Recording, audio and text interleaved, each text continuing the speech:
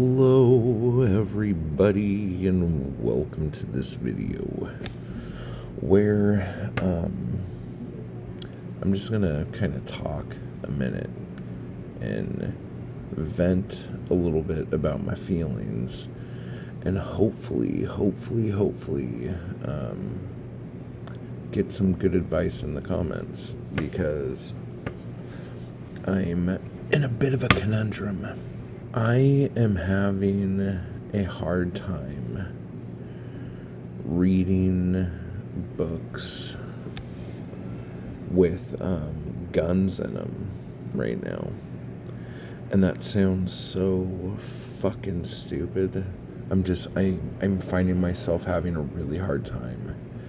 And um, it's funny because it's usually not the the bad guys with the guns that's bothering me. It's the heroes with the guns that is bothering me.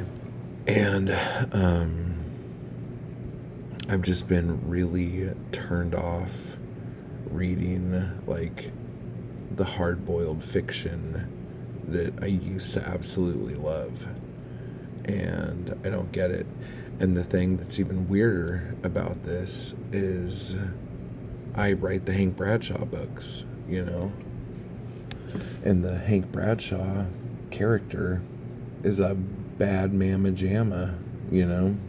It's weird because when you, when, or at least when I think about it, in the last book, he didn't use a gun at all. I'm trying to think if he, I think he pulled it out to scare somebody or something like that, but um, he didn't, he didn't use it. I don't know, but it's just, um, like I have a lot of books that have like guns on the covers and shit like on my bookcase and on my spinner rack and I just have been finding myself like just spinning the rack so I don't have to look at it. And I know this sounds fucking super ass like whiny crybaby fuck thing but I'm just fucking being honest. Like, I'm having a fucking hard time with it. It's just, it's weird. Has, has have any of you gone through this? And honestly, like, I have books that I've written that have guns on the cover. I don't know what it is about. I mean, I could guess pretty easily what it is, but um, I don't want to get into that kind of shit with everybody here, but um, has this ever happened to any of you where there's a genre you love, but there is an element of that genre that makes you all of a sudden not interested in those books anymore? Or um, something about the cover of a book that puts you off of reading it? even though it's a book you love. This is this is just boggling my mind. It was it was hard for me to put my finger on it. Um, I just kept noticing that I was either turning my rack or moving books around um, in front of other books and it was like very subconscious and I didn't realize it and then the other day I was just sitting there looking at it and I was like, "Oh my god.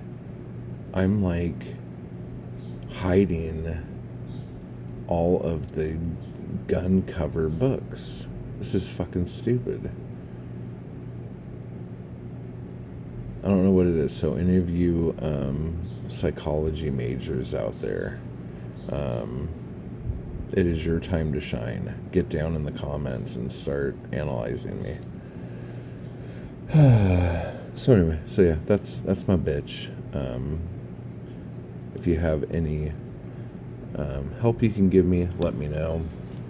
Los Angeles, it's out.